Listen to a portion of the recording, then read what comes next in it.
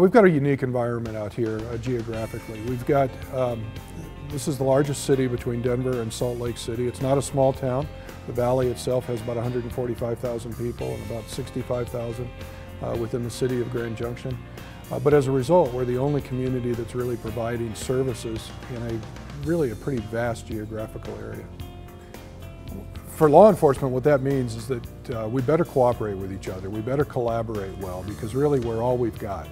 Um, we, as a result, have built some very strong relationships in this valley uh, because we have to and because it's the right thing to do to provide service to our community. The two big ones in this jurisdiction are the Mesa County Sheriff's Office and the Grand Junction Police Department.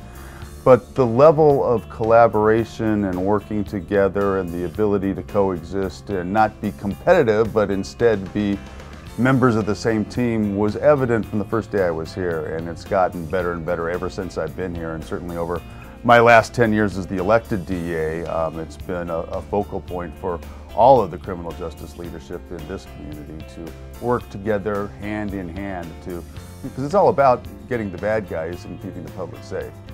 Well, over here on the western slope, we're of course isolated from a lot of our resources and, and um, in this side of the state, there's a lesser population and uh, access to the things that you need just with everyday life even. Um, in understanding that equation, it, it, it, goes with police work too, that we all have to have a hand in to be able to help out.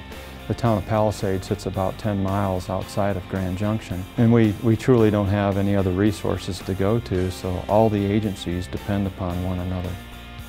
If we didn't have the collaboration, we cannot respond appropriately to answer the call. Even though we're a small agency, we have to meet the same federal and state guidelines of a police agency and, uh, and respond accordingly in investigations and respond accordingly with public safety. We have a tremendous uh, collaboration in Mesa County, and I know that sounds like uh, something anyone would say, but I think it's a true statement here. We have lots of examples that we can talk about which will display that collaboration and I would say affection for each other in the law, in the law enforcement community. Uh, we work on many things together, and so I would say that I would give us an A plus on our collaboration.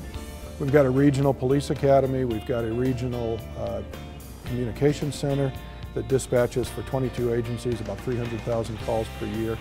Uh, a drug task force for many years that collaborates with the various agencies around here. Um, and then we have efforts not to duplicate as well. Uh, there's no reason, and in fact we can't in this area, be duplicating efforts. We can't afford to do that. Uh, so for example, we've got a bomb squad, so the county and other agencies around here don't need one and we provide uh, that service for agencies throughout the western slope and even into eastern Utah. Uh, the county has search and rescue, so we don't need to provide that. We provide communications and a collaborative effort with everybody else uh, so that other agencies don't need to have a communications center.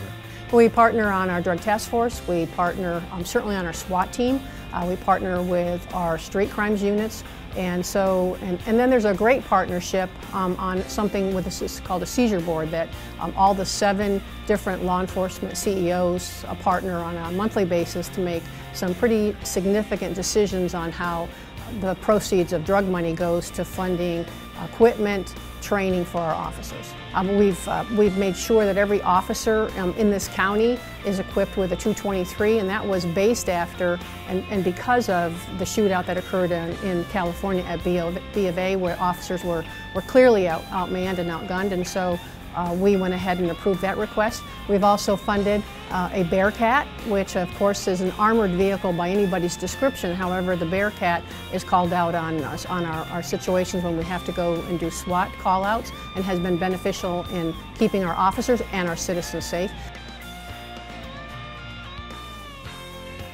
Our university, we've got kind of a unique relationship with our university. It's really, a, like many colleges, a city within a city up there. And in this case, we provide the police services to that university on a contract basis.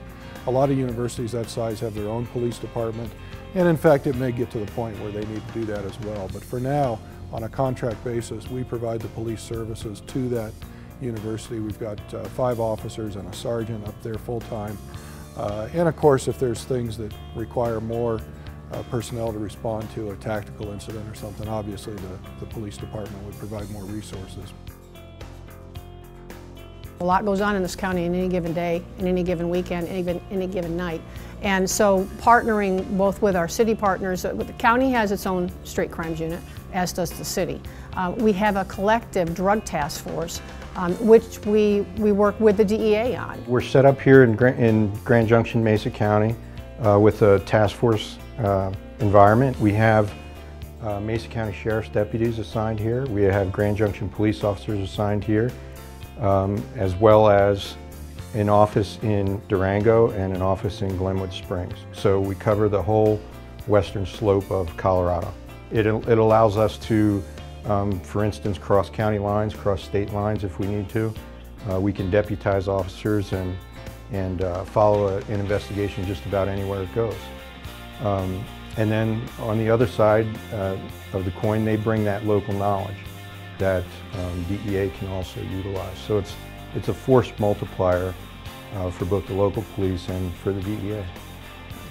I'd say to other communities that find themselves in similar situations is, is to uh, put away the egos, uh, put away the preconceived notions about how law enforcement should be done and find ways to work together.